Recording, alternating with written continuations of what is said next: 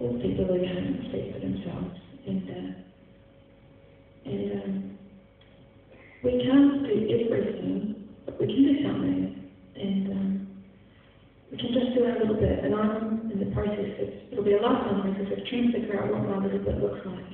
But I don't have to know what I need to do in two years. I just need to know what I need to do right now. And, um, and this um, was involved in that and, and keeping that promise to those people and coming back to my home and telling you what I've and how it's affected me. And, and I World Vision here tonight. And um, if you already sponsor a child, that's so cool. And, um, and if you don't, would you just think about whether that's something that you, you could do life? I wouldn't be asking you to do anything about it for myself. But, um, but it makes such a difference. And, uh, and it changes a person's life on the other side of the world, but it changes your life as well. And, and really aids with that head retrieval and, um, thank you, know, and if you sponsor a child tonight, um, we're going to give you a, a signed copy of team uh, to that, um, because it's, it's important. And um, thank you very much, Auckland